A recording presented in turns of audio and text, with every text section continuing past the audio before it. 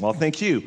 All right, so we're going to talk about real incidents and real solutions to these uh, real incidents. But since it's uh, the last talk, we figured we would completely change our talk.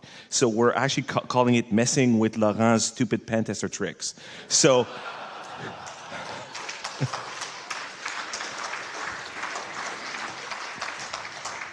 so who saw that talk? Laurent's talk. All right. So one of the things that he talked about was the keys. I don't know if you remember that, where he said, uh, "I keep a spare key of every different type. So if I grab a key that I want to use, I just give back the wrong key." So we spent all night looking for a Long real night. security solution for that, and it's actually pretty simple. You just got to go to Home Depot and make sure that all your keys are Disney branded.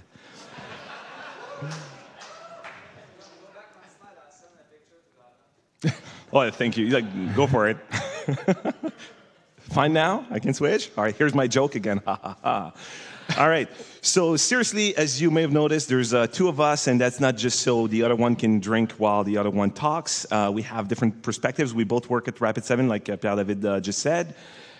And myself, I work more on the defense side, right? So, I work with different companies from all sizes, huge enterprise. There's a lot of people I worked with in Montreal also uh, while I was an independent consultant. So I assess security programs, I do security architecture, and that's why I thought it would be a good idea to do a talk with someone that does incident response because if you say you do defense and you don't know how the actual attacks happen, are you really doing defense or are you doing compliance, right? It's, it would be pretty weird if you didn't know how the um, actual attacks were done, right? And Jordan?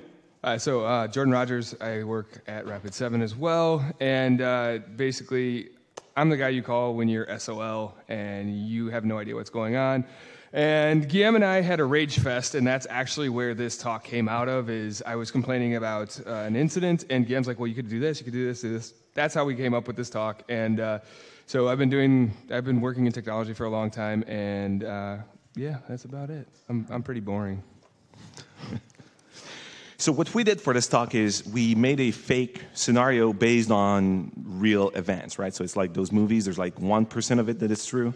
Um, so what we're going to do is we're going to go backwards in that incident. So the company we made up is called ASNA, which stands for Acme Steel and Anvils. So disclaimer: we don't know anything about steel. So if there's anyone who actually knows, uh, you're probably going to be really, really angry at us uh, by the end of the talk. If you do incident response, you'll probably find that our timelines are really aggressive. Let's just pretend that we're, we have some really motivated hackers here. So 7 p.m., ASNA has its uh, chocolate moment. Uh, quick poll, who thought that was a chocolate emoji when iOS started supporting uh, emoji? Oh, there's one guy, really positive guy, Charles, right? So all their IP was stolen. And by IP, we mean intellectual property, of course, not IP addresses, because that wouldn't make any sense. Um, and because they make anvils, we would imagine that the reason why they can make them for so cheap and make so much profit is because of the different, um, different types of steel composition that they have, the alloys, the contracts that they have with their providers. And a few hours before uh, all their stuff was leaked, their MRP database was, uh, was breached. So MRP stands for Manufacturing and Resource Planning. Planning. Yes. That was the hardest part of the entire talk. So that's where you got all the contracts from all the different providers, the processes to build these uh, anvils, and pretty much everything that come, someone could copy really easily from them if they had the recipe to that, right? So what just happened right before that, Jordan? Uh, so uh, before they got to the MRP database, they grabbed domain admin, and domain admin and service accounts are the easiest things for attackers to move around. We see it all the time, and Just get a little closer. There's a camera. Oh, oh hi, camera. Uh, and then, you know, what they did is, is before they got domain admin, they, they laterally moved. And, uh, you know, before they could lateral over and grab the domain admin, they had to get local admin. And before they could get local admin and scrape memory, they dropped some actual malware. It was a rat, remote access Trojan. And uh, just as a disclaimer, a lot of this stuff is uh, taken out of real incidents, hence the name of the talk. So uh, we just have compressed a lot of what we've actually seen in the, in the uh, wild. And right before that malware ran, what we saw was there's a, a dropper that was executed that went and fetched uh, the malware. Uh, Jordan, maybe just for people who don't know, can you explain what, what a dropper is and how it differs from the actual malware that ran after? Uh, so um, um, I hope most of you know it, but if you don't, uh, basically Dropper is it's it's two-stage malware, so it's a lot less likely to get caught by a lot of the other um, you know the, a lot of the other tools that you have in place, and we see this because it's easy to write a dropper because all it has to do is, is, is install itself, not even install itself, just run itself, go out and grab something and pull it down. So you're not wasting your actual exploit kit getting caught. You're, you're spending a lot less time on this, and it's, it's a lot less likely to, to be caught by your typical easy defenses. Uh, and we see that between the malicious email that was sent and the dropper being executed, there's like 26 minutes or 24. I'm really bad at math. I think it's 24. and the only reason why there's 24 minutes in there is just because the guy who received the email is a slacker and he just didn't click on it until then. And before that, the company thought, you know, everything is fine. This kind of stuff happens to other people. We have a next gen firewall. We got AV. This is not going to happen to us. And ignorance was bliss, right? So I would say the root cause for that is a lot of the security programs that I, that I see, I could say they're, they're based on next gen and bourbon. So people just get drunk or they get drunk on Kool Aid I say here, having a beer, doing a talk on security. Uh, so I don't judge them, but I gotta say, if you don't do the basics right, all these products that you're that you're buying, you're probably just expanding your attack surface and not really reducing uh, the risk at all. And then on top of that, you're spending a whole lot of money uh, that you're probably going to need once you do uh, incident response, right? So when I look at the security programs in enterprise, it's extremely rare that I would say the top one thing you need to do right now requires buying anything and everyone is going out and buying a whole bunch of stuff. You know, just like slow down and fix those things before you start uh, buying these uh, these different devices, right? By doing the basics right, well, you're not adding something that expands your attack surface. Like I said, you're not adding someone something that's going to have another like 18% uh, maintenance fee uh, take more room in your data centers. You really want to get that right. And in fact, we see people do the opposite. They buy everything and then they don't do much, uh, and then we know what happens, right? So when you do incident response, would you like the typical company that you do incident response for? Do they have stuff? Do they have nothing? Do they have everything? What, do, what, does it look like? I mean, we see a broad spectrum of things, but a lot of the times somebody will have like a next gen firewall. They'll have you know a SIEM. They'll have you know uh, proxies. They'll have AV everywhere. They'll have you know uh, like the sandboxing, and that's all great and fine and dandy. But they most of the time don't implement everything properly. So you bought a hundred thousand dollar firewall that you don't do shit with. You don't sandbox everything, so you're not actually looking at it. You're not actually blocking stuff using your AV because you have HIPS. And you know, I come in, I look at it, and I say, "Oh, great, you have AV, but you also have 12 different versions of your AV, so that really didn't fucking help you." Um, and you know, we we see this all the time: is you spend all this money and nothing gets done with it. And I know people in the room who work in IR can say that it's extremely frustrating. And then we walk in there and we look like we're like a genius because like, oh, hey, maybe we should just turn on your firewall. Um, so you know we see that quite often, and it's pretty frustrating because you're spending another whole bunch of money on. I just want to remind you, like this is film, so all your like useless f bombs and all that uh, stuff yeah. is going to be immortalized, which I think is going to be awesome. In like 62 years, I'll have, find that video on YouTube. I didn't sign a waiver. I signed it for you. Oh. All right, so why don't we just go back to that story? So, first, step one, there's an email coming in, and someone who works in, let's say, accounts payable gets the email, right? Yeah, and, and you know, just like Citizen Lab talked about earlier, uh, we see that phishing is a really easy attack vector. Uh, social engineering, you know, they, just like we use open source intelligence and we do threat intel gathering and all of that, they do the same thing. They'll send a phishing in, they'll send a phishing email. They'll make it look like a conversation that you should have had, just just like the Citizens Lab guys talked about. Uh, and you know, it's it's basically like it happens all the time, and then you have to pay a whole bunch of money to fix something that was really simple because you should have vetted what you were getting. And you know, I mean, look at the uh, domain, right? Hey, it's a, it's a guy who should have gotten an email from a raw materials company, but uh, really, who uses .biz? Like, well, so so that was a joke that we wrote for a different talk where there's no company called infidem.biz in Chicago, so I think that played better. So I don't know. I guess here, other than infidem, does anyone use .biz for legitimate purposes? Have you ever seen that? I'm American. I don't know anything. So, all right. So the typical defenses we see against that in like all the enterprises are very similar. So anti-spam, everyone's got that. It's an appliance. It's a service you point your MX records to. Uh, you have a cloud uh, email like 365 or Gmail, and it's got that, and it's pretty good against non-targeted stuff, right? Same thing for mail antivirus. You know, it's not targeted. It might uh, detect some stuff and block it, but if it's a targeted attack, it's not really going to help you. Endpoint AV, I mean, it's pretty much the same thing. Sandboxing, a little better, but um, in the case of like droppers that are really simple, there's like ways to bypass that. I know there's some people in the room that actually love bypassing these uh, these sandboxes. I won't name names, but you know who you are. And then my favorite one is, is uh, user awareness. You know, every company has user awareness almost. But how, for, how many companies in here actually have like some phishing, user awareness, like phishing training and stuff like that? How many actually think it's effective? How, how many of them have to keep Flash just because of the user awareness thing?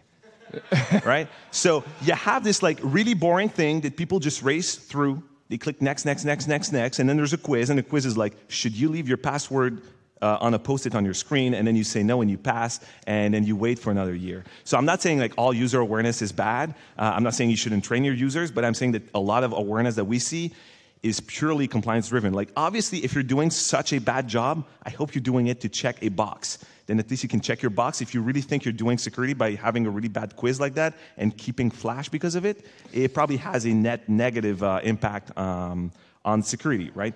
So in our case, in that situation, it was uh, actually a Word attachment, but there's like other ways that malicious email can come in, right? Yeah, I mean, like send an Excel document that has Flash inside of it, and yes, Excel can run Flash, and it's stupid, and we're going to pick on Flash a little bit. But um, you know, the other thing is we see, we see the you know scraping LinkedIn, scraping social media, all of that stuff, and they're sending emails, uh, you know, with a just slightly tweaked domain. I just worked two of them last week. They're very simple attacks, but it costs people a lot of money. Like I've seen eight hundred thousand dollars get sent by a comptroller because the, the CFO uh, sent an email to the comptroller. Well, it was actually instead of an L, it was an I, and they didn't notice it. And guess what? Now they just sent it to the wrong account.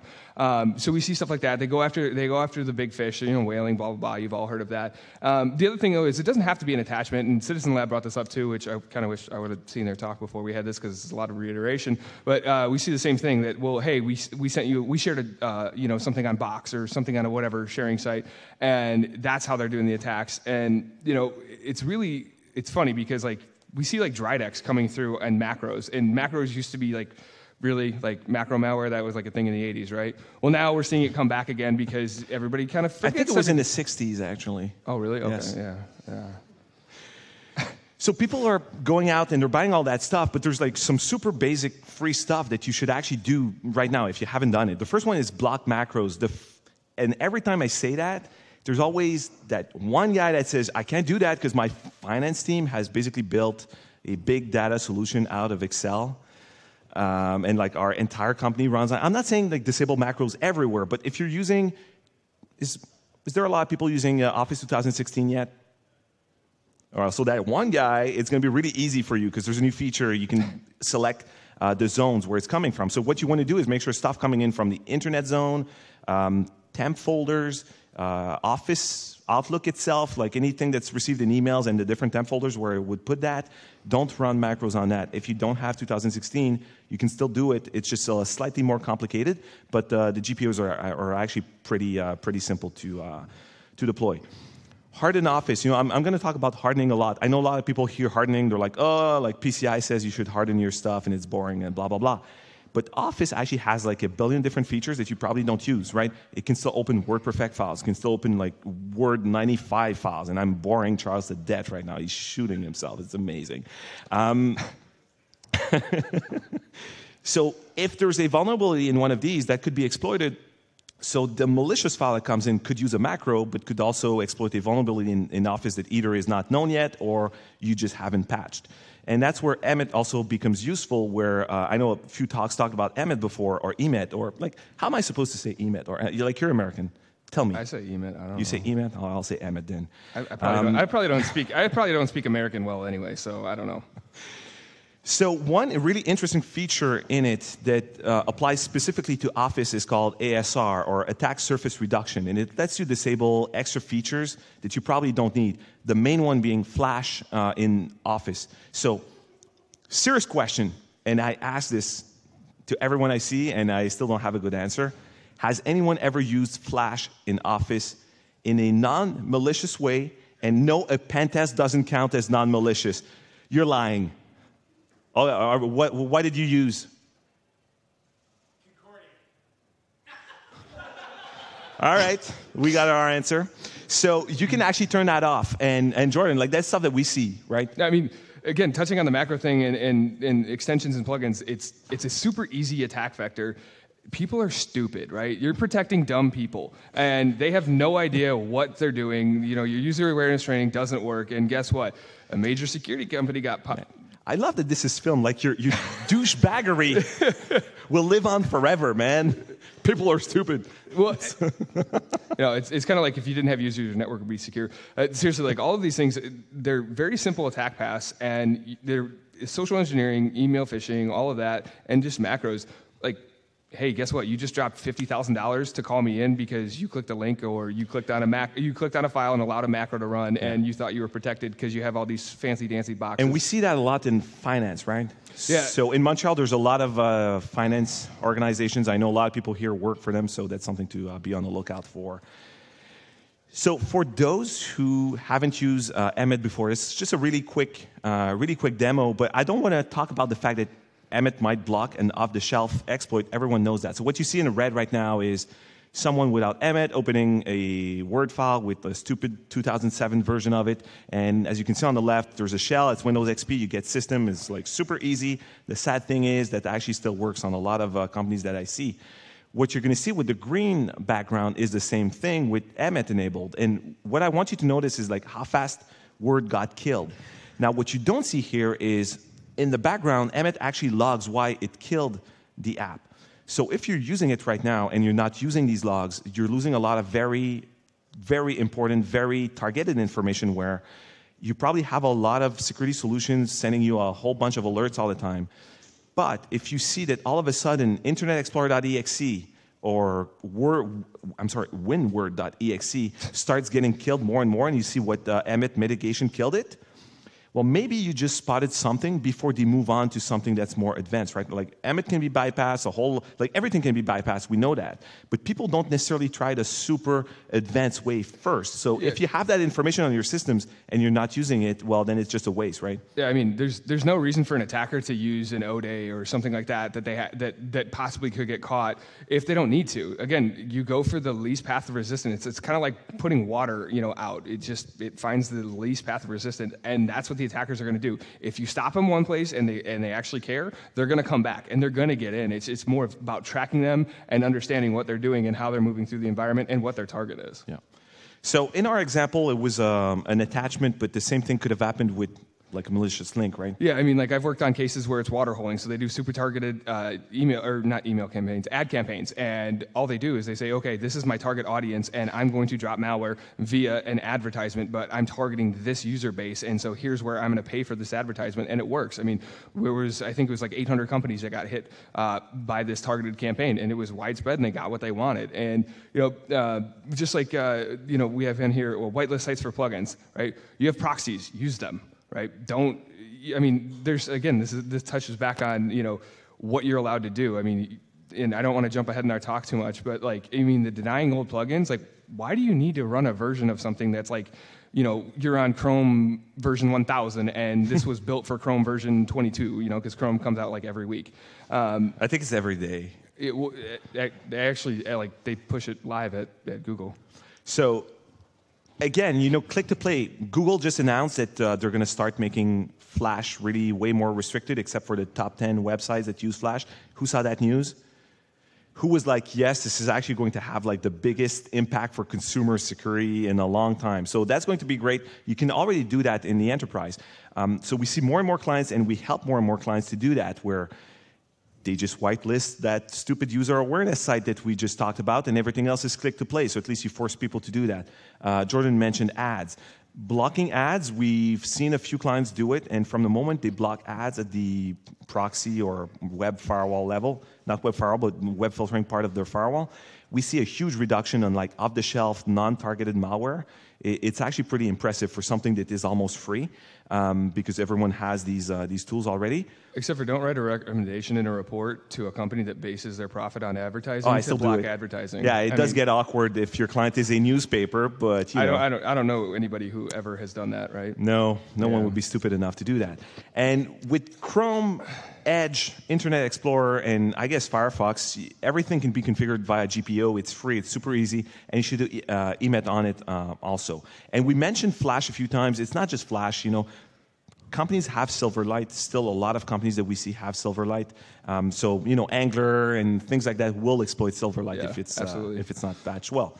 So on top of these things you can do for free that you, sh- that you should be doing, there's just some extra config you should be doing to the stuff you probably already own. My favorite one is just unclassified sites, right? I see a lot of people they spend so much money on like proxies or uh, next-gen firewalls that can do web filtering, and then the unclassified sites they don't block them because that would require effort because there might be uh, sites that get blocked that they need to use. Well, first thing we're we're in Montreal, so I know there's some databases that are not as good with the French sites as others. So if you have questions about that, just come and see me later.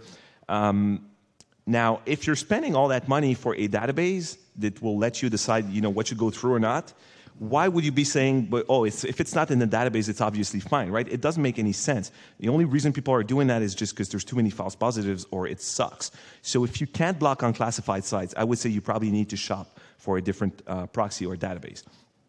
Because when you think about it, if someone's going to attack you, they're, they're probably not going to attack like a site that's categorized as porn to try and attack your company, right? I mean, yeah, like we, we see all the time, like just like with the, uh, just like instead of the malicious link or instead of the email attachment um, from you know the wrong domain, you can still do the same thing where you can prevent uh, uh, similar domains and stuff like that uh, from from email, but also like you're going to prevent C2 traffic. So if you do catch mo- commodity malware, you can block C2 traffic because most of those sites are unclassified. Like, and if if you really have users who are hitting that many unclassified sites, okay, maybe that's an issue, but it's easy enough to say, okay, I shouldn't go to this website, so it's going to prevent some of that malicious link stuff that, that we were talking about, that Citizen Lab talked about as well, is you don't need it. There's no real business purpose for it. And, you know, if somebody's using a .biz that was registered five minutes ago, really, do you think you need to work with that company? I don't know. Yeah, so you, you, you got to use that to the maximum. Then the other one, which sounds really stupid, you know, file blocking. I cannot count, like, it's probably 75% of the companies that I see allow either or both, like, any user to download EXEs. Like, that can mean like a um, customer service agent in a bank. Why does that person need to download an EXE or MSI or a PIF or a batch file or whatever? You know what I mean? Then it's the same thing with email AV. You know, a lot of people still allow like encrypted zip files and then they don't scan them. It's like you're scanning everything and then something comes in that you can't scan and you just let it through. And one of the reasons why that happens is when people do pen tests, they frequently um, set the scope so that end users are out of scope. So all these things don't actually get tested even when they do a pen test. So I see that still really, really often. Then link rewriting, depending on what you're using for email uh, anti-spam and anti-malware, you want to rewrite those links. So remember at the beginning I said there were some amount of minutes between when a guy got the email and when he clicked on it. So those 24 to 26 minutes uh, might actually be enough for those definitions to catch up if it's not something that's targeted. And in fact, that's something that I've seen that I've done that actually really works well, where someone who's in a different time zone, uh, where it's, it's earlier in the morning, was getting a lot of like off-the-shelf malware their AV would not detect. We just slowed down delivery of some types of attachments by 20 minutes, and that made a almost like a 90% difference in the amount of malware that was caught because they were not targeted campaigns. It was just like off the shelf malware that was sent to millions of people, but they were the first ones to receive it. I, I don't know why exactly they would be the first ones to receive it, but also people would show up really early because it's a different time zone. And just doing that uh, reduced it a lot. So then, if you're doing link rewriting, when, when your people show up and click on these links, you get the advantage of scanning them again when they click on it, which might buy you a few hours, which might be. Uh, Yeah, and the other the other nice thing about having link rewriting is you could, instead of saying okay, well, where you know have to go and search well who uh, everybody got this email or who all got this email, you actually understand. You know, you don't have to go back through and go to your proxy. You can say okay, well, whatever my email filter is, I can actually go and say okay, these are the people who actually clicked the link, and this is what we reported back, and then you can say okay, well, we know that this is something we need to work on. Yeah. Stuff like that, and it, it, it also helps get rid of um, you know some of the times like you send the Bitly links and stuff like that. People you know you train people to say oh hover over the link it'll tell you where it's going. If it's going to .ru don't do it right. Well, that kind of gets screwed up with the Bitly links right. So Oh yeah, well I guess link shorteners are uh, the devil, but that's a different story. QR codes are okay though. I will scan any QR code anyone shows me. Absolutely. All right, that's what security conferences are for. If anyone has a USB stick, I'll plug it in also. No, I won't. Um, so then the next step is the dropper that got executed via that macro will get the uh, actual malware. So let's say evil.plumbing slash lol.exe if you have the worst attacker uh, in the world, website. right? And we just explained what, what the difference was between the dropper and the malware. But basically, you'll have the same typical defenses, except uh, maybe you know your next gen firewall is supposed to catch it because you think that that URL is going to be malicious, or maybe it's going to scan the actual code when it comes in and say this is malware. Um, your endpoint AV, your proxy, your your sandboxing. But the problem is people have all of that, but the rules are really permissive. So we just said, you know, most people can download EXEs. By the way, if you do start blocking that right now, make sure you don't have like the Adobe auto updater relying on getting an EXE straight from Adobe, because then you're going to end up with a whole bunch of uh, outdated Adobe readers. So be careful with your whitelists. So most people don't block that. They don't really look at DNS. And one of the big ones is HTTPS decryption, right? So that's in every company that I see that's a, that I can start a flame war in like five seconds just by saying like, oh, HTTPS decryption, what do you think about that? Like it works every time. It, there, it's going to be a crazy flame war. There's always people in the company that say we should do it, people that say we shouldn't do it. There's never anyone that says we should do it, but maybe not on these sides because like people get really you know uh, worked up and they just want to punch each other, kind of like Jordan and I. Yeah. But I gotta say, you know, if you're spending hundreds of thousands of dollars on like next gen firewalls and sandboxes and things like that, the attackers have access to free certificates now. Um, so you're spending all that money on these things that should be able to see the stuff. So I'm gonna say, if you're against HTTPS decryption for the traffic on your corporate network, why don't you save yourself the money? Because in two years you're not going to see anything anyways. So why not just like remove one device and save a few hundred thousand dollars, right? Uh, I mean, I've, I've had clients where they've had sandboxes that are actually pretty decent, and they can't see half the traffic because, hey, well, guess what? I bought this really expensive toy, but now I can't see half of what I need to see. I'm not doing anything with it. I've deployed full packet capture in environments, a huge amount of full packet capture, and they didn't do any SSL decryption, so it was basically like, hey, guess what? We're scanning port 80. Um, so that's one of the things that drives me nuts, uh, especially because attackers are smart. They know that they can use SSL to exfiltrate data, and you're not going to see it because you got in an argument with compliance or legal about this. And Um, you know, with like WordPress, with Let's Encrypt, with everything now supporting HTTPS, you got to be ready for it. You know, it's like we see more and more that's encrypted, and you've soon, advertisements encrypted. yeah. So soon it's it's all going to be encrypted. So you need to decide what you're going to do with that. I understand the downsides of doing it, and maybe some people want to have a more endpoint focused um, technique. That's fine if you if you understand what the uh, the downsides are. So I would say in most cases you actually want to do SSL decryption in an enterprise, but there's some stuff you really don't want to see, right? Uh, when people are logging into their bank, you don't want to see that. You don't want I to see. do. The, well, you probably do want to see it, but you're probably not allowed to. So you want to have a whitelist of stuff you don't want to see. In some cases, maybe your company could be targeted by someone who's going to hack, like Bank of America, to target you after. That could happen, but for most companies, that's not really a really realistic type of attack, right? Yep. So here's what it looks like in, in a real attack, right, Jordan? So that's something that we took. It's a little bit modified, though. No, it's not modified at all. It's legit. Um, so basically, like this is this is what we're looking for, right? Is you have the proxy. Guess what, guys? The data is there. Like, and that's something that that that companies, when we deal with incident response, is that they think that, oh my God, we have no idea what's going on, how they're moving through our network, where the infection came in, what they were doing. Well, guess what? It's right in front of you. You've got a proxy, you've got DNS logs. Go look at them. Go look at anything anomalous, and then hey, you know what? Also, make sure you monitor your DNS. Like DNS tunneling is super easy to get data out, and it's it's old. But guess what? Macros are old, and that was the way that people were, you know, popping you now, and they were popping you in the past. Same same stuff. Everything gets reused in security. So June 32 and 555 in IPs. I think we hired some people from CSI Cyber to uh, make our slides. Um, then the third step was the credentials got harvested by that malware, or as I say, you just got Mimikatz, right? So actually, That's a verb. That's a verb. um, how many people have actually seen Mimikatz in any of the attacks that they've dealt with? Anybody? Anybody? Yeah. So, and I know you have. Raise your hand. Come on. Um, so we see Mimikatz, and people are like, "Well, oh, my AV catches Mimikatz." Well, guess what? It's open source. You can recompile it, or you can you can write the same thing very easily. Um, and then I've actually heard of uh, an internal pen test team uh, requesting that a their AV whitelist Mimikatz. So Because they- it's a legitimate pen testing tool. yeah, right? and so they, they actually they actually had a breach and they were pulling creds out using stock Mimikatz. It was a really unsophisticated attack, so don't do something stupid like that, please. And then Or you, you, can just pay me money and I'll come and fix it for you and tell you you did something stupid. I mean, not that I would tell you. you why would I pay for you to insult me? I get that for free.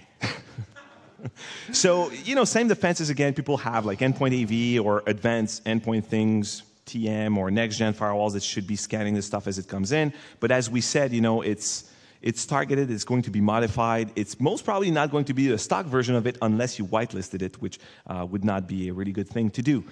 So, what you actually should do to defend against that uh, for free. The first one, I know everyone is super sick of hearing about that, but like you really want to run as regular users on, on Windows. And there's still way too many people running as local admin or power users, which is basically local admin with a different name. Um, but you also got to watch out for effective permissions is we see people with regular users on old images that they built a while ago and then they upgraded from like old versions of Windows and they carry over scripts and things like that. And if you're running as a regular user, but you can change the EXEs that some services use that are running as local system, you're kind of an admin. It's just like one step removed. So you really got to uh, watch out for that. And you know, obviously, Microsoft says that like 70% of the um, vulnerabilities on Windows have a higher impact if you target someone that's running as local admin. So that do, I know that doesn't surprise any of you, but it's, it's something you really can't avoid. In some cases, you might have exceptions. You might have people with two different accounts. They log in as admin only when they need it or whatever, but you got to do it. Vulnerability management is still really important. And what I see is a lot of companies will focus on fixing the remote code execution. They will see that, and it's like CVSS 1000 and RCE and everything. We fix that. But the truth is, the RC is just the first part, and sometimes there's not even an exploit that's involved in the first part. It might be a macro that the user is actually going to run. The privilege escalation bugs are really important because that's how you'll move to that local admin. Um, even more important in a terminal services environment or Citrix environment. Um, so you have to focus on those. I'm not saying like you should freak out every time there's a privileged escalation, especially on OS 10, because you would be freaking out every day. Uh, but they're still important. You got to fix them. Domain admins on workstations, you shouldn't do that, not even once, right? You should really limit that, and we're going to talk about that a little, bit, uh, a little bit more later. And if you're using more modern versions of Windows, there's stuff like Windows Device Guard. There's a whole bunch of stuff around credential security in Windows. Like 7, 8, 10 really improved. It's really different from like the Windows XP days. I mean, even Vista was way better than XP for that. Um, so you really should use these settings. And what we see is a lot of people started using Windows a lot and AD a lot in 2000 to 2004. AD got released, so they're bringing over old configurations, right? Still the same domain. They just move a whole bunch of stuff to new versions of Windows, and they just bring the old bad configurations with them. So then our fourth step was the local admin privileges are finally obtained. So in our story, we assume that a company that makes anvils actually doesn't let users run as local admin, which would surprise me a lot, you know, having worked in manufacturing, but let's just say. Right? So what's a typical defense to, to do that? Does anyone have like a good example of stuff that a lot of companies do to prevent privilege escalation and issues with local admins? See, now I'm really concerned. Um, but I agree with you because I don't see stuff being used really, uh, really often, right? I just mentioned removing local admins. Here's a tip. I there's probably someone in the room who worked with me when we did that at I'm sorry. a previous place. It wasn't, it wasn't you. No, I'm just saying I'm sorry for them. No, I'm amazing to work with. Don't you know that? Yeah. Wow. So, moving on. So I was just saying, I, Actually, I'm pretty pissed that they gave you the mic that you can just put on your head, so I can't make that joke about Jordan having a hard time keeping it up. So thank you, AV guys. Uh, so the trick is the stick works, but the carrot can also work. So instead of just telling like a thousand people, you lose local admin, which is not going to work out really well. You want to say, oh, here's your brand new laptop that's got like a thousand gigs of RAM. Um, and you got the new version of Office. Oh, and by the way, you don't have local admin anymore. That actually works if you have 5,000 employees and you try to strip local admins all at once, you're probably going to have people with pitchforks uh, right next to your office in like 17 minutes. Um, so everything that we said before, randomizing the local admin accounts. So you, you can do it with commercial products. You can do it with LAPS also, which we'll, we'll talk about. Be really careful with your deployment scripts and logon scripts and group policy preference. So I know that for those who have seen Laurent's talk, that's still something that we see. So for those who don't know, with group policy preference, you used to be able to set the local admin password in a group policy, and it was encrypted with air quotes. Uh, it was more encoded. It was the same key for everyone who used uh, AD. So what Microsoft did was they released a patch to prevent you from creating new policies using that because it was probably the stupidest idea they ever had since Bob, right? So they just removed that. The problem is if you already had GPOs using that, that's not going to go and delete them, right? So we still see those in use by a lot of people who haven't even noticed the, that this is a thing that was deprecated. And then hardening again. And when I say hardening, specifically look at user right assignments in Windows. So Windows is actually really good at delegation, and then the user right assignments are really powerful for doing things like saying, Jordan is a person, or so I've heard. Therefore, he shouldn't be logging in as a batch or as a service account. Uh, but the same thing works for service accounts where this is a service account, it should never be able to log in as um, an interactive logon or via RDP or over Yeah, I mean, these, these things. that- see, I see service accounts and domain admin accounts and local admin accounts abused every time in an incident. If it's a Windows environment, they're going after it. They're going after the admins. What they want to do is, is most people don't monitor their service accounts very well. Uh, I go into environments and I say, give me all of your service accounts that you know you have. And then they say, uh, okay. Because most of them don't break them out per OU. They don't do things like that. And then the service accounts, sometimes they're domain admin accounts or they have a GPO push that actually gives them a bunch of access across machines as like local admins. So you basically are a domain admin. Um, we see that uh, with with the service accounts. It, the other thing is like like Jim was just talking about. We see that you have you have no idea of when you're monitoring of is this a service account that should have login rights or is this a service account that should just run as a service because the point of a service account is to run as a service most of the time, but we see them all the time used to lateral through like IPC shares, et cetera, blah blah blah. We'll we'll touch on that a little bit later, but And uh, if you're if you're doing great hardening, it's just like what we were saying about EMET before, where if you're monitoring your environment, there's probably like a whole bunch of failed logins, right? Like everyone, if you look at your AD, you're going to have a ton of failed logins. It could be a user. failed logins don't really help, by the way. Well, exactly. I, I think it, that's a compliance But thing. if someone is logging in with a service account and gets denied because it's a logon type that you've blocked, you know they have the password to that service account and try to use it in a way that doesn't make any sense. So that's a much higher value type of alert for you to look at. So it's either something malicious or maybe it's a, a- an admin that was trying to log in as that service to troubleshoot something which you probably shouldn't do. So that's the type of monitoring that actually is going to help you without creating like a thousand alert a day. So this is another example. That, that was just like someone using uh, Mimikatz in the real real attack, right? Uh, I mean, so this is this is the same sort of thing. If you if you pull out, they'll rename it, they'll reuse it, they'll dump everything, and you're going to get everything you need. And uh, and actually, Guillaume, thanks for putting that password in there. That's that's super know. awesome. You said it's from a real attack. well, yeah, way to, way to protect the innocent. Um, and you know what I love about Mimikatz is that it's in French. So I'm sure when Jordan sees that, he's like super confused. But Yeah, um, you know, because dumb Americans, we can't you know figure anything out. I didn't say that. He did. So I think it, but I wouldn't say it in front of a camera.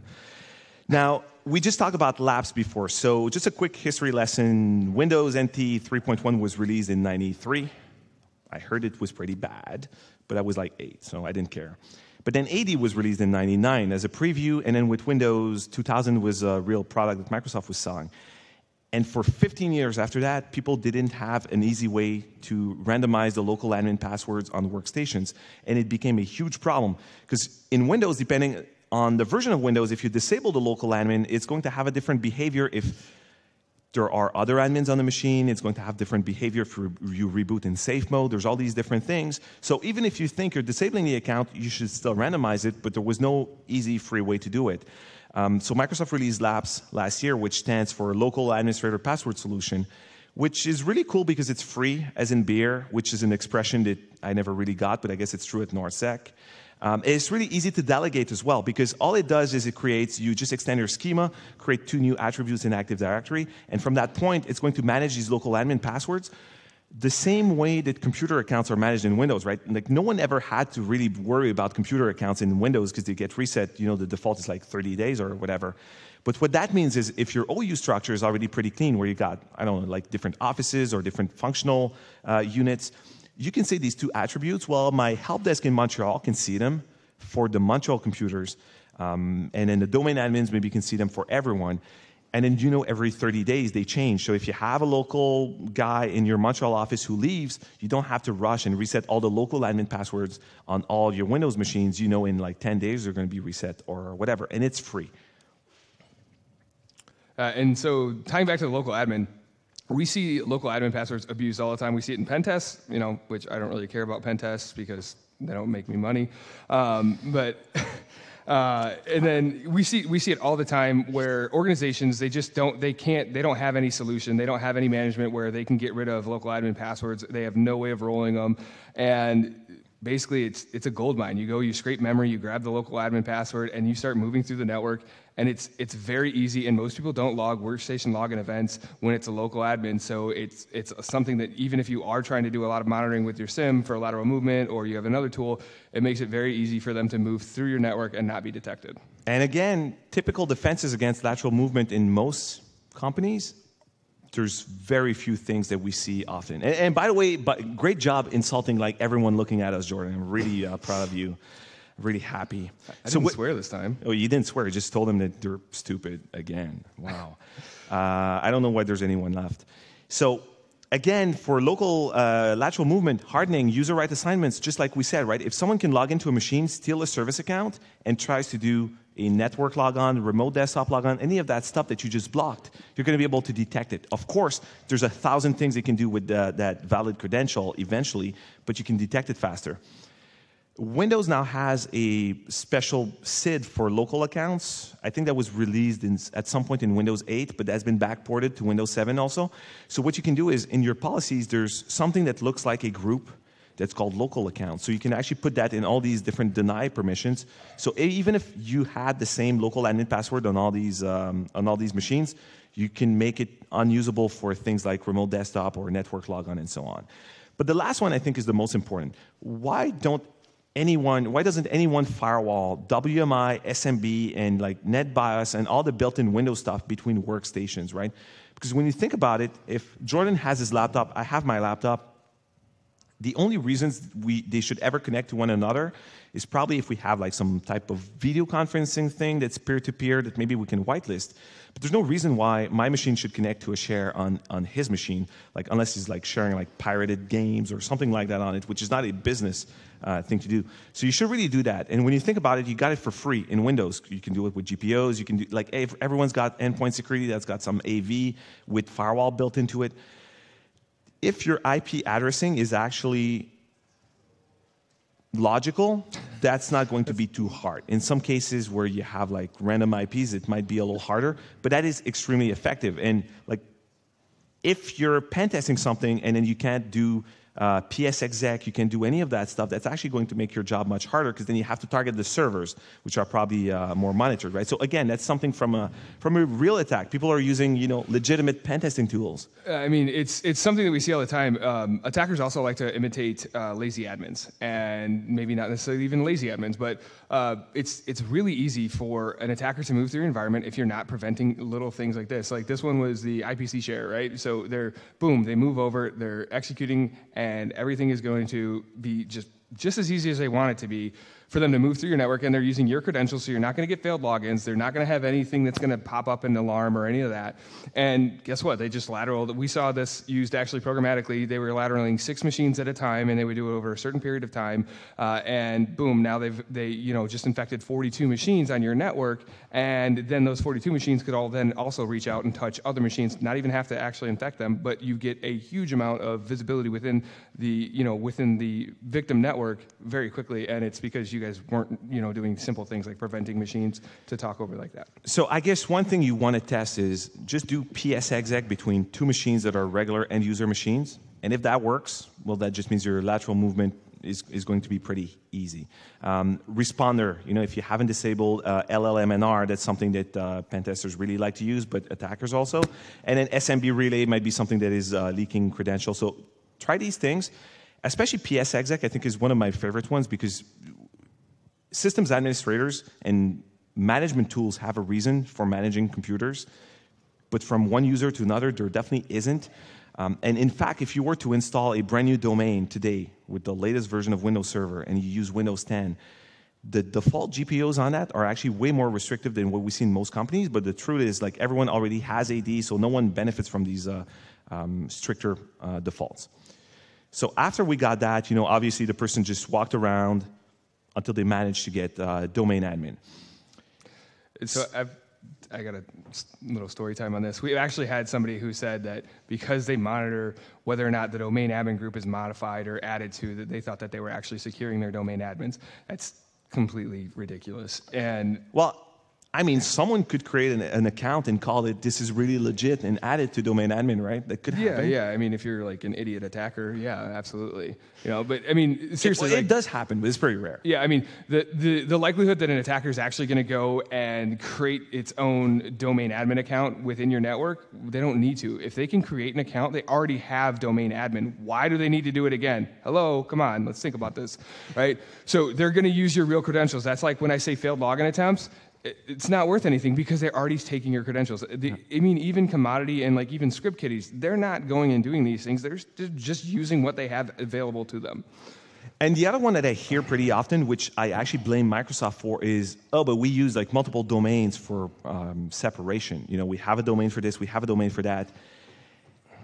Domains are not security boundaries, right? So if you have a different domain in your DMZ than internal, and you have a different do- domain somewhere else, the forest is actually the, the boundary. And back in 2000, 2001, Microsoft actually used to say that you should use domains for uh, security purposes. But the truth is, if someone can take over a single domain controller in your forest, they can take over everything. And that also goes for read only domain controllers, by the way, which is a whole different topic. But the read only domain controller has as many privileges to the domain as the regular ones do. So that's also not really going to help you. And for most companies, I would say having fewer forests and domains is probably simpler and therefore more secure. So that's something that uh, you, you, probably want to avoid. But separate your service accounts, right? Everyone talks about like net- network segmentation and things like that, but account segmentation is also, also really, really important, right? If you have, let's say, 10,000 PCs, I, I know a lot of people here work for really big companies, and you have, I don't know, a tool that's used to scan for vulnerabilities, let's say. If you use a single service account to scan all of these, what you're doing is you're basically leaking the credentials to that service account to 10,000 workstations. So you actually want to break it down per criticality of, of systems, right? So the worst thing you could do is scan your domain controllers and your workstations with the same service account. Because then, as soon as someone breaks into one of these machines with the first malware that we saw, they're going to get those credentials, which are either domain admin or uh, equivalent. Then you really have to patch your domain controllers like Chuck Norris would if he had an AD domain, right? So, who remembers the Kerberos issue that was fixed by Microsoft before Christmas, like two years ago. All right, so there's some people. Everyone else is fired if you were uh, responsible for a domain. what that issue did was it let anyone go from regular user to domain admin in like zero steps. It was like zero to 60 in no seconds. Like, boom, I'm a domain admin. The first public exploits for it were actually detectable because of the weird stuff that it would do in the logs, but then there's ways to exploit that that um, you won't really be able to detect. And there's no excuse for not patching that when there's exploits in the wild. I mean, like, like 10 days after that was fixed, um, there were different exploits in the wild for it. And six months later, I would still see clients that haven't patched it, including clients that are like universities. Oh, you think like no one in a university might be interested at getting domain admin on your domain? Well, you probably didn't go to the same school I did.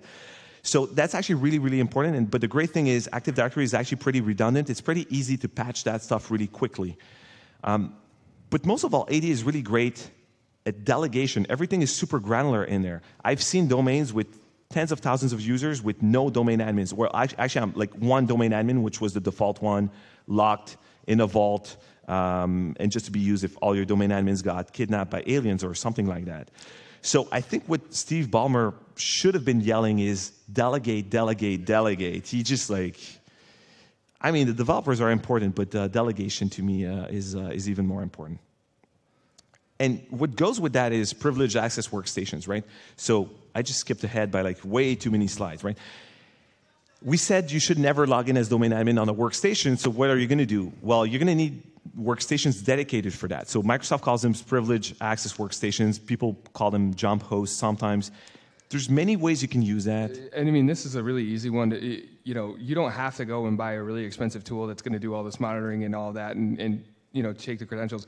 Really, you push a GPO out. Uh, we did this during an attack because it was just they were very, very, you know, integrated in the network. And all we did is said, okay, these six virtual machines are the only ones that you can use domain admin accounts from. And if it's not from that, the GPO said, nope, can't do it. Well, immediately we saw everywhere that any of the machines that had anything on there uh, were, were failing at. And so I said, failed logins don't count. Well, when you purposely make something fail, that's where you get it. Um, but that's something that's, that's very easy for you to push out. And it's something that you should never, I mean, really, you don't need to use your DA account except for when you're actually doing something that requires it. Otherwise, why aren't you just using your standard account? And again, it's an easy thing, and we see IT and security targeted all the time because it's the, you guys have more access and you think that you're secure. So. So there's many different ways you can do that. You can have like dedicated hardware. If you have a really high threat profile, you could do it with VMs and so on. And you see there's like a super stupid small link you can't read. At the end of the talk, we're going to have one URL that's got like all the link, uh, the links and the different uh, resources. But what's important to remember is if you do implement that, you also need to work on these GPOs that will prevent domain admins from logging in. Because the thing that's going to happen is you can tell people to use these privileged access workstations, and then something is going to break somewhere, and it's going to be easier for someone to just log in or to just do like a run as or something like that. Um, and you don't want to turn your sysadmins into pen testers so they can do their job, and then the credentials still end up in, uh, in memory. And that's also going to help you a lot if you want to do things like uh, two factor authentication on your domain admins because you know they're not going to log in from, uh, from anywhere else. So after they got the domain admin, the next thing that they did was they went to the SQL server that hosted that uh, MRP database. And I would say for databases, the picture is not really great when it comes to the typical defense the, uh, the enterprise has. I mean, some people have like really good logging and they grab PCAPs and they look at like traffic volumes, but for a lot of people, they realize that something is wrong just because there's so many deadlocks that their daily reports are crashing and then they realize that someone is dumping the database and that's why it's so slow. And some of them have some network segmentation. You know sql servers are not reachable from, uh, from every workstation even though like that's actually something that i see uh, less and less frequently for people who um, have all of their it on-prem a whole lot of uh, flat networks uh, nowadays so, you know, obviously, you really want to firewall that. If your network zoning doesn't allow you to, why don't you do it with host based firewalls? It's not the best, it's still way better than nothing. Your connection strings, right? A lot of people have connection strings, even with IIS, that are not encrypted. And the, the reason I hear for that is, but an admin can still read the password even if it's encrypted because they got access to the keys and so on. But remember that there might be many cases where the malware uh, doesn't have local admin on these machines yet. And you need to monitor the events. So SQL actually has like a lot of different events that you want to catch, but there's also some really obvious stuff. Like someone does like select star. Like, does your app ever do that? It probably shouldn't from a performance perspective. So if you see like crazy queries like that or just long running queries, the performance monitoring tools of something like SQL Server actually let you grab that. Well, then if you see someone selecting everything and piping it to a file, well, then you probably have a pretty big problem because I think all your data are belong to them, right? Yeah. I don't know who that guy is, but that's a pretty awesome um, Halloween costume. So, so when it comes to data, like what do people have? Yeah, so people also talk about like, oh, I have DLP. I'm gonna, this is going to prevent stuff from leaving my network. I'm monitoring all these things. I'm doing all this logging. Blah blah blah. Uh, DLP really. Uh, one, does anybody think DLP is an actual security tool? Okay, good. Um, so the way I view DLP is DLP is to protect stupid people from themselves. Uh, it's so that you don't send out data that is going to get you in some sort of compliance issue. Now that's more of an issue in the U.S. and Europe than it is in Canada because I've looked at some of the compliance stuff and you guys don't. He really... says with authority as a Canadian. yeah, you know, because I'm, I'm a lawyer. Um, but the, uh, the, the fact of the matter is, people also depend on DLP. Now, you can do some cool things with DLP, but it's not going to catch somebody dropping a CSV file with all of your, all of your data in it that they're going to then exfil out over a DNS tunnel, right? It's not going to do it because you're not monitoring all those things. So don't depend on DLP. DLP is just a tool that you can use as, as for some assistance, but it's not something that you should actually count on on detecting an incident or data exfiltration, et cetera. Um, and then like egress filtering. I mean, we see so often that if I go onto a machine and I change it to 8.8.8.8, I can use that to get outbound instead of actually having to. And we just talked about like using your DNS logs, right? Yeah, But I if mean- you don't enforce people to use your own DNS servers, that's pointless. But more so, why can your servers reach the internet? So what you're trying to do is, if the guy is on your database server, you want to force him to dump that file on maybe an admin's workstation and move it out from there. If they can connect straight from that database server to the internet, like they're just going to encrypt it. Your DLP is not going to catch anything. Maybe if you're looking for huge volumes of data, you're going to catch it. But a lot of people have valuable data that is not terabytes or even Yeah. gigabytes. I mean, and it, it's easy enough to, to, to siphon off data and, and make it pretty quiet. Um, but it's, I mean, we're running up on time, but there's, there's And quite your, a, your phone is ringing? I know, I know. Sorry. dude, come on. Um, but yeah, I mean, really, like we see, we, we see all the time that a server can reach outbound, and there's no real need for it. You have WSUS, you have SCCM, you have something like that, or oh, you know what? Only allow it to go get Windows updates. But I've I've seen where people actually were using the server to exfiltrate the data, and it was inside their network. It was not in the DMZ, and they're sending data out. It should not be able to initiate a connection outbound. And I get confused because I'm looking to see like how is egress controlled from servers, and you talk to someone and you're like, no, we're not doing anything. So my first reaction is I'm not speaking to the right guy. If I speak to the network guys, they're going to tell me what they're doing, and then you speak to like 25 different people, and you realize that only SMTP outbound is blocked and nothing else. So that's really important. But then once you're doing egress uh, filtering properly, there's still some servers that are going to be accessed from the internet. So like your WW routes, right? If you have some web servers that are available on the internet, you should probably monitor that, right? Maybe, know, might be a good idea. But that's something that we see in attacks where people will find like whatever IIS server is available over the internet and they will copy the stuff to those so they can just fetch them. So I guess everything that we've been saying is just like check privileges and segment systems. And when we say segment systems, it's not just from a network perspective, but think about the credentials also. It's probably even more important than uh, the network um, perspective right now. Delegate as much as you can. There's there's no reason for your help desk to have local admin on a print server if all they do is restart the print spooler. You know, you can actually delegate that really precisely. It's annoying at first, but once you're done, it's actually pretty easy to maintain.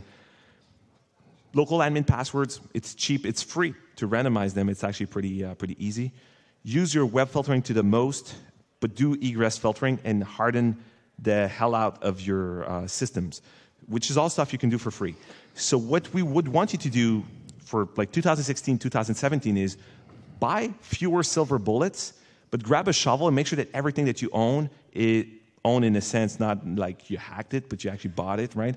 Everything you own is configured as well as you can, and you're gonna see huge impact. And the next time you buy something, then you're gonna be able to make the most out of it, and you won't just be expanding your attack surface and, and reducing the wallet surface, I guess.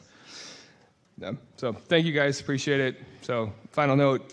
compliments and complaints Yeah. and the slides they're not up to date but there's also there's, there's already a version there which i will update and all the links that uh, we had in the, in the slides are also on that website thank you Thank you. Thank you.